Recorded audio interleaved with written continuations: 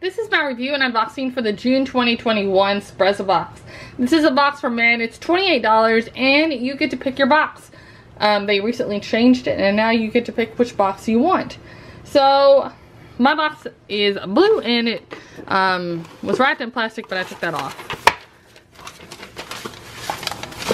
Alright. I don't think they put an information card. Most of all of it is typically online. Um, looks like there is a coupon for Munch Pack in here, which is a food subscription, muscle box. All right, so let's see what we have in here.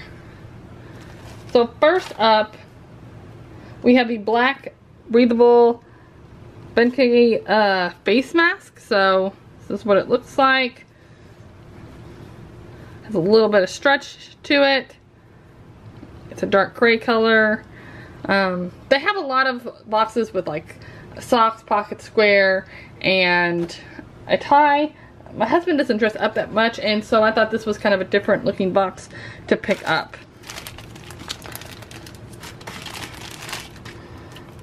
Next up, we have some sunglasses. Uh, Shades Club. Hmm. All right, so here's a look at the front and the sides. If my husband doesn't like them, I'll wear them. These are nice to have in the car because we're always like misplacing and losing sunglasses. Then we have Charcoal Oars and Alps Bar Soap. We've had this in a previous Sprezza box. My husband really liked it, so um, we picked it up again. This will be nice for travel because it's a nice small size. Nice.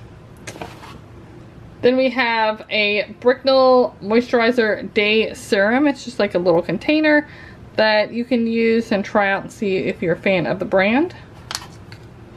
Then our last item is a little lapel pin and it's a little mustache.